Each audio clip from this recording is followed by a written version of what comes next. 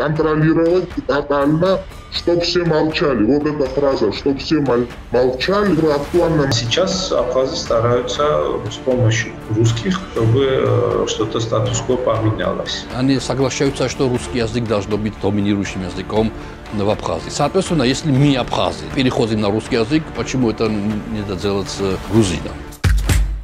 Большой переполох вызвал в Абхазии материал, подготовленный совой. В нем мы рассказывали о запрете на образование на родном языке. Ограничение касается этнических грузин, но важно понимать, что под угрозой исчезновения в регионе и сам абхазский. Вы смотрите Амбави, Сова, независимый голос о Грузии на русском языке. Мы вещаем из Тбилиси. На этой неделе наше внимание привлек материал, который вышел на русскоязычном грузинском информационном портале sava.news. Материал называется «Дети Гали. Без права на родной язык». В основном публикация построена на анонимном интервью одного из членов организации We Exist – The Voice from Abkhazia. Так чем же оказались недовольны представители де-факто Сухуми? Давайте еще раз посмотрим видео. ვინც ვაპირებთ უმაღლესი ჩაბარებას, ზოგი თავისი ძალებით მეცადინეობს, ზოგი რეპეტიტორებთან. თუმცა რეპეტიტორების რაოდენობის მხრივ რესურსები მცირეა. ჩვენზე ქართულ მოსწავლეებზე არის უდიდესი ზეწოლა, რაც იმაშიც გამოიხატება, რომ გვგზავნებენ მშობლიურ ენაზე სწავლას და ლაპარაკსაც კი გვეგზალება კონდეს განსხვავებული პოლიტიკური შეხედულება გვეგზალება ღიად მივიღოთ მონაწილეობა დანარჩენ საქართველოსში წარმართულ პროექტებში და ასე შემდეგ. დე ფაქტო მთავრობა ეგრეთ წოდებული განათლების სამინისტროს საშუალებით აკონტროლებს რომ არ იყოს სკოლებში ქართული სწავლება. ასევე არიან სხვა სხვა საქმების მეთოდისტთა კომისია რომლებიც დროდადრო მოდიან სკოლებში და ესწრებიან გაკვეთილებს. ხშირად ყოფილა შემთხვევა, როდესაც კომისია მოსულა და ქართულენოვანი წიგნები დაგვიმალავს. დაგვიმალავს იატაკის ქვეშ, შეშებს შორის, სამლოცველოში თუ სხვაგან.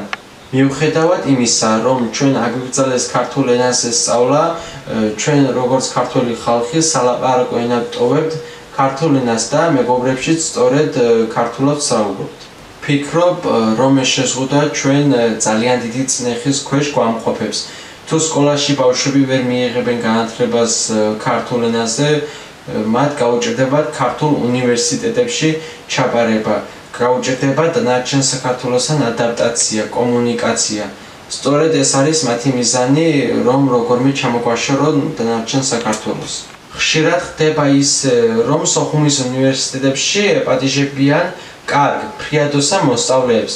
თუ ის კარგად ფლობს რუსულ ენას და მათ ძალიან დიდ პრივილეგიებს და გვერდში დგომას პირდებიან.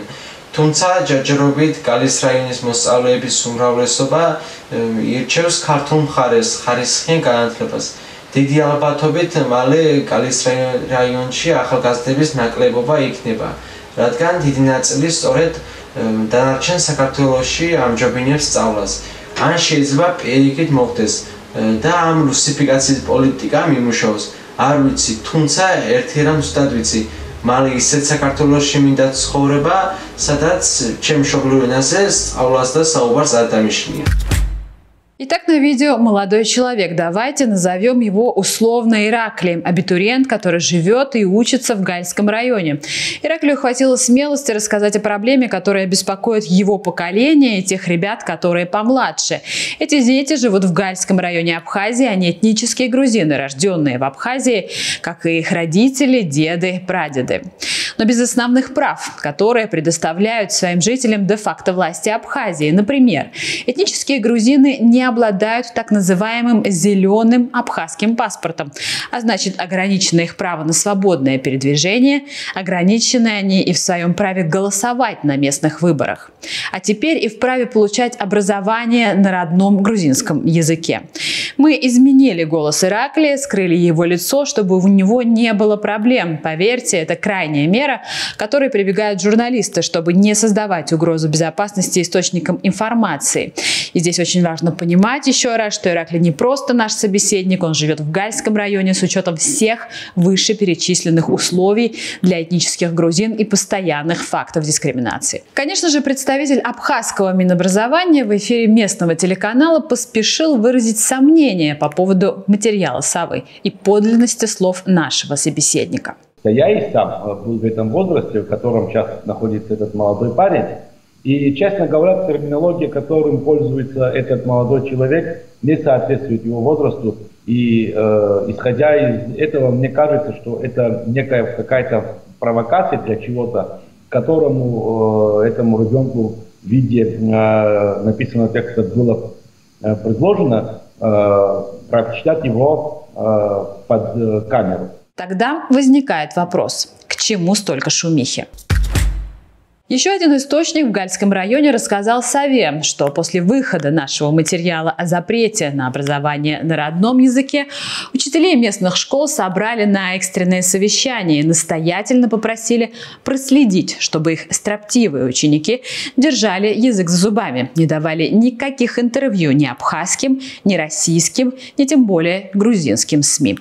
В противном случае педагогам пригрозили запретом и на частное преподавание грузинского языка. Когда вот этот мальчик дал вам интервью, они в пятницу как бы учителей заставили прийти на совещание, и абхазы запугивали, что если кто-нибудь из школьников, и они почему-то посчитали, я не знаю, кто этот человек, но что он школьник, и они говорили учителям здешним, что если кто-нибудь из ваших школьников даст кому-нибудь еще интервью, это, это к тому же, что очень интересно, они говорили, нам не интересно, это грузинское, русское телевидение, хоть армянское или азербайджанское, мы спросим с вас контролировать тотально, чтобы все молчали. Вот эта фраза, чтобы все молчали, очень актуальна.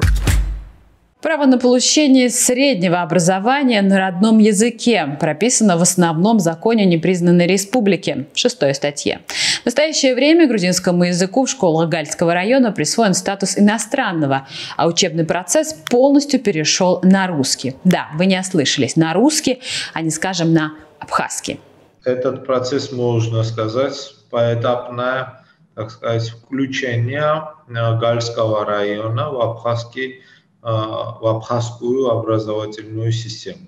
То, что сама абхазская образовательная система, в основном это российская, это уже другое дело. Да? Мы видим, что за вот это 30 лет де-факто независимости абхазы, в принципе, не смогли, несмотря на то, что они как-то вот говорили об этом, были какие-то попытки, но они не смогли так сказать, Абхазии э, создать вот абхазскую систему, да, там все еще э, проблемы с знанием э, самого языка, абхазского языка, которое свое, и это, ну, очевидно, даже видим, да, вот то, чтобы люди между собой общаются в основном на русском, политических кругах или дебатах и так далее, всегда все идет на русском. То есть абхазский язык не смог, так сказать, стать э, функциональным языком, каждодневным языком для самих абхазов.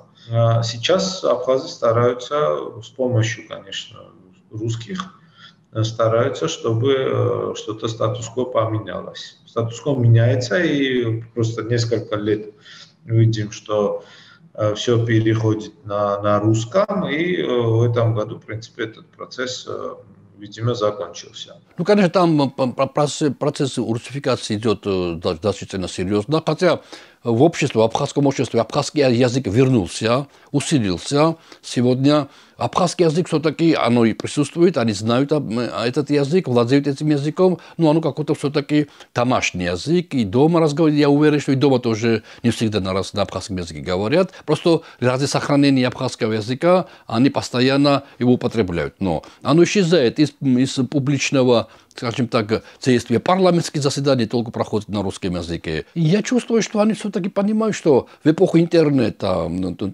скажем так, глобализации, они смирятся с тем, что абхазский язык не может конкурировать с, в интернете с другими языками, и они так не признавая это формально, они, они признают, они, они, скажем так, соглашаются, что русский язык должен быть доминирующим языком в Абхазии. Соответственно, если мы, абхазы, скажем так, переходим на русский язык, почему это не делать с грузинам? считайте, с 96 -го года уже шла русификация, потому что мы русскую школу кончали, у нас были русские учителя.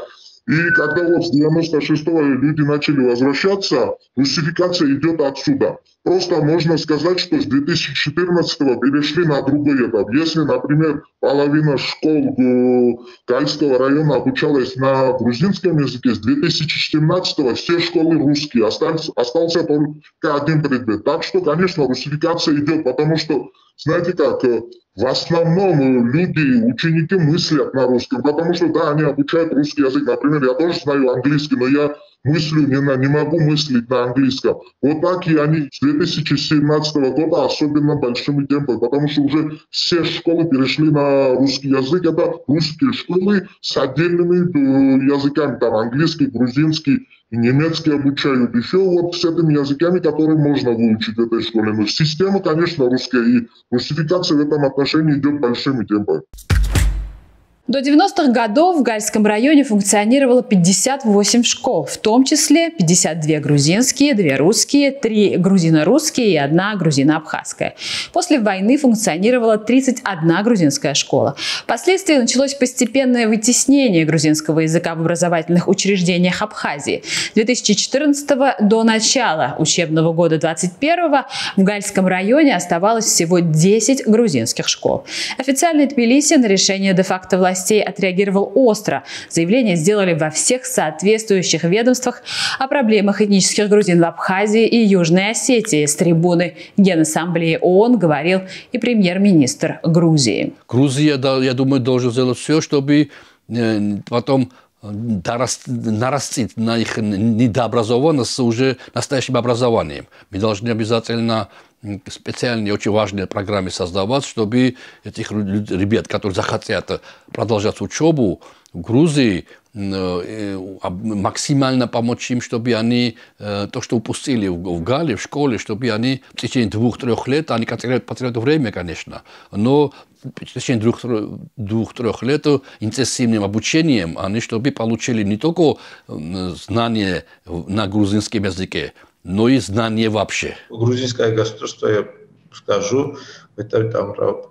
направлении тоже буксует, э, потому что много лет э, и, и тут разговоры, что надо иметь, так сказать, специальную политику по отношению к кальцию. Может быть, это не будет где-то прописано или так далее, но хоть какие-то дискуссии, разговоры по этому вопросу должны быть на уровне специалистов и на уровне тех, э, тех э, государственных учреждений, которые вырабатывают политику. Поэтому, потому что э, если все будет продолжаться так, как сейчас оно есть, мы увидим все меньше и меньше гальцев на местах, которые, у которых есть соответственно, образование, какие-то права, чтобы вот более-менее реализовывали себя на местах. А, ну, если они будут, мне кажется, что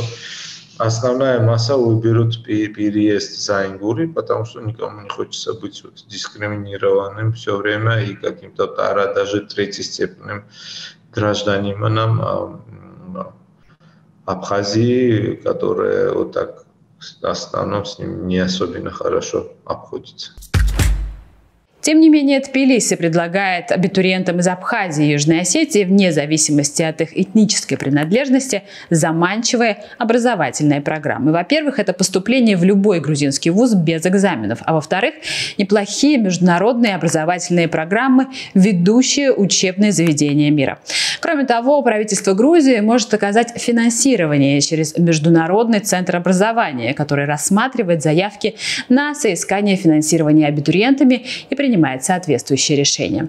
Программы, на которые могут рассчитывать жители Абхазии и Южной Осетии, это Erasmus+, Вышеградская стипендиальная программа, Чивнинг, немецкие стипендиальные программы и венгерские стипендиальные программы. Правда, здесь без поблажек. Придется доказывать, что вы лучше наравне с другими абитуриентами. Конкуренция высокая, но оно того стоит. Заставляют этих студентов прямо поступать без экзаменов. Но это дает не такие хорошие результаты, потому что эти студенты потом становятся потом жертвой буринга. Знаете как, когда человек столько два года трудится и потом становится студентом отсюда, кто-то без этого поступает, это вызывает проблемы. Э, это как бы политика нашего государства грузинского, чтобы там э, как бы дети туда не шли. Но это как бы вызывает конфликты внутри университета. Я сам знаю, потому что я говорю, все там кончал, ну я сдавал экзамены, но последние три года как бы без экзаменов поступают, и это ответ.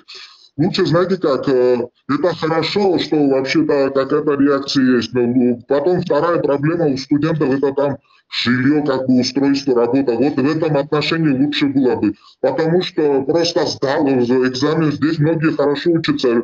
Э, например, они без проблем могут сдать там э, экзамен по математике или что, что там, если бы их устроить в другом отношении, в социальном или что там э, в тренинге, работа и так далее, это было бы лучше, потому что это более было бы эффективно по отношению это, к этому вопросу. Потому что, например, здесь сейчас какая проблема? Те, которые кончают в Грузии университет и не могут найти там работу, возвращаются здесь. Если они здесь русские им предлагают работать, они идут в Краснодарский край и работают уже там, потому что они знают язык, и это им помогает.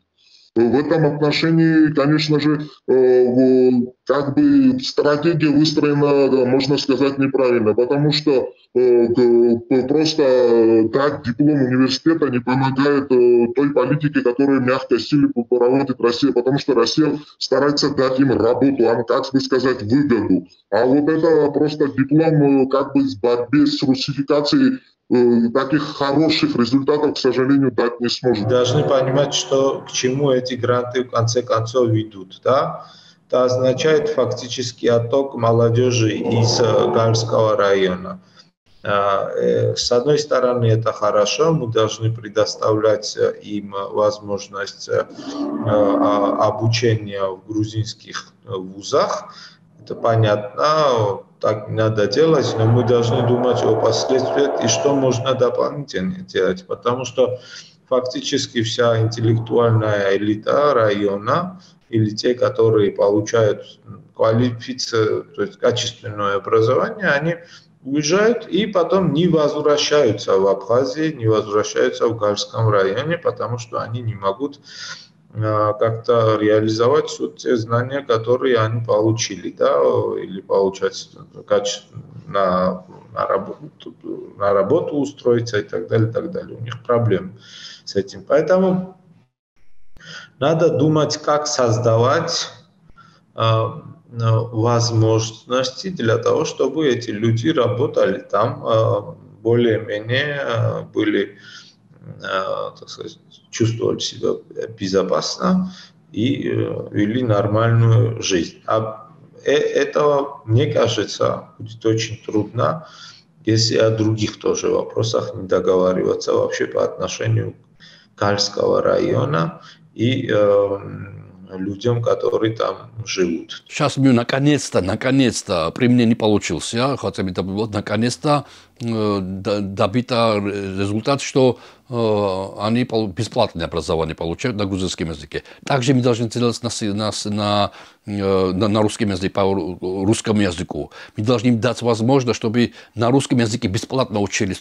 У нас есть хорошая школа еще русского языка осталась э, в высших учебных заведениях, преподаватели есть. Потому что они могли бы вернуться в Э, в Абхазии потом, потому что только получив образование на, на грузинском языке, они не смогут там найти работу. А мы хотим, чтобы они вернулись. А живя в Тбилиси или в другом другом крупном городе Грузии, э, грузинский язык и так вокруг, и они, грузинский язык для них был бы обязательно ну, приемлем. Тем более, что нет, нет какого-то отчуждения. Более того, более того, я точно знаю и, и сам лично знаю, что очень многие русскоязычные э, абитуриенты в Абхазии, абхаз, абхазцы в основном, и этнические армяне тоже, они хотели бы получить образование в Грузии. Они знают, что в Грузии, в основном части Грузии, есть довольно высокий уровень образования. Куда им идти получить образование? Вот э, в остальной части Абхазии, кроме Галского района. Где-то в Краснодарском крае довольно слабый университет там. Или в Москве, Петербурге. Это очень слишком, во-первых, далеко,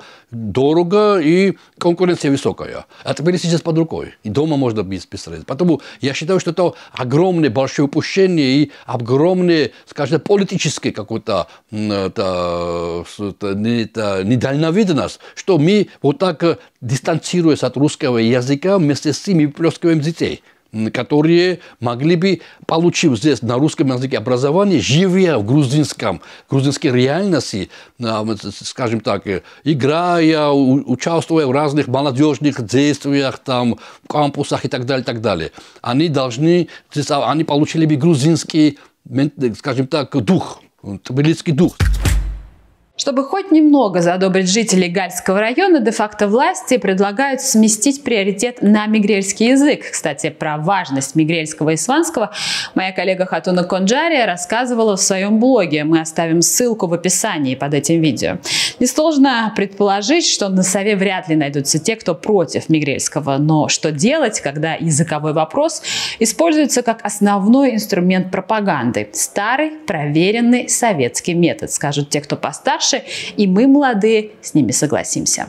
Процесс идет, и русские действуют с позиции с мягкой силы. Само отношение, знаете как, да, регион оккупирован, здесь стоят войска, но само отношение к населению со стороны Российской Федерации очень мягкие. Они стараются как бы войти в контакт, дружить с семьями. Например, сейчас детей начали вводить в школы обучаются у этих грузинских учителей, они здесь грузинские учителя работают, но они работают на русском языке, там химию или географию обучают на...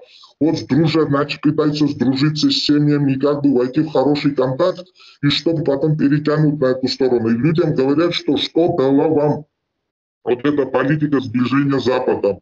Вам, ну, мы жили же очень хорошо. Грузия, знаете как, это как бы идеология, которая как, как бы сформулирована. Мы жили очень хорошо в Советском Союзе 30 лет, что вам дало хаос и что-то так далее. Вы же помните, что вы были самой богатой республикой, и как бы это на людей действует.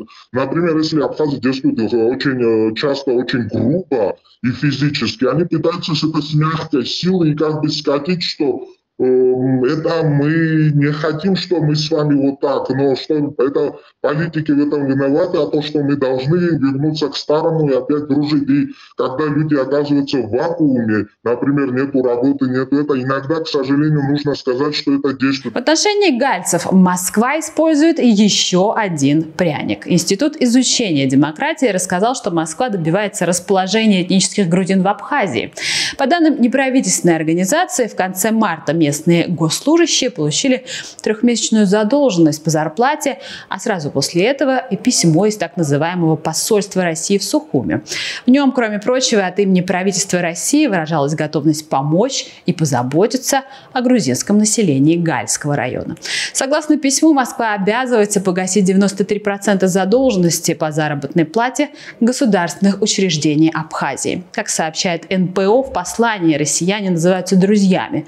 Согласно Согласно пафосу письма, грузинам пора осознать, что мир и процветание в регионе возможны только с помощью России. Конец цитаты. Что ждет молодежь Гальского района? Налицо два очевидных сценария. Или она ассимилируется, выучит русский язык и поедет поступать в Сухуми или другие города России, или же покинет свой дом и выберет лучшее будущее в Тбилиси. Оба сценария на руку тем, кто пишет план поглощения грузинского региона Россией. Спасибо, что смотрели Амбове на Сове. Делитесь своим мнением под этим видео, оно нам очень важно. До встречи.